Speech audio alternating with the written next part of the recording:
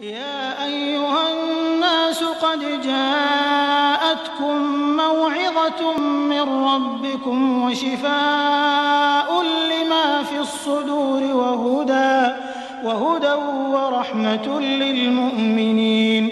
قل بفضل الله وبرحمته فبذلك فليفرحوا هو خير